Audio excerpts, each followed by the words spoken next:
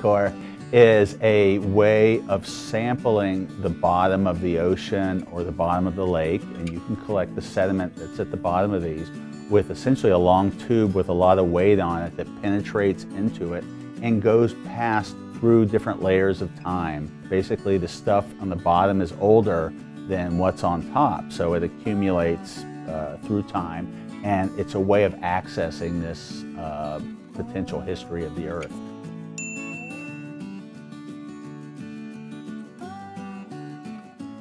As you might guess from the title, a piston coring system centers around the use of a piston in the top of the core barrel, and that piston serves the function of providing a vacuum when the core goes into the sediment column that prevents the sediments from being deformed and squished as the barrel goes into the sediment.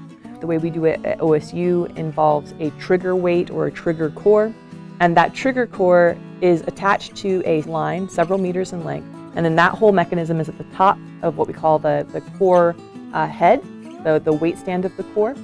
That weight stand has thousands of pounds of lead weight in it, and then that lead weight is on the top of a length of steel pipe that depending on the environment will be rigged to be between 20 and 50 feet long on average. And when you hit the sediment bottom, that trigger weight hits first. And when that trigger weight hits first, it releases the tension on something called a trigger arm, and that releases that, that free scope of line.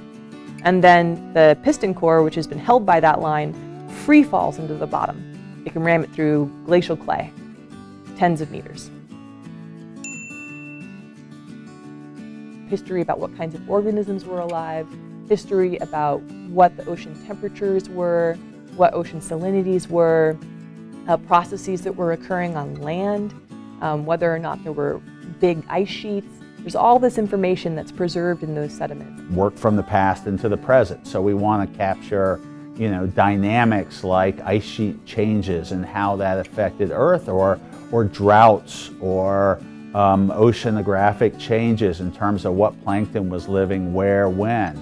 Um, and all of these things basically fall into the bottom of the ocean and we can use the sediment to capture that record.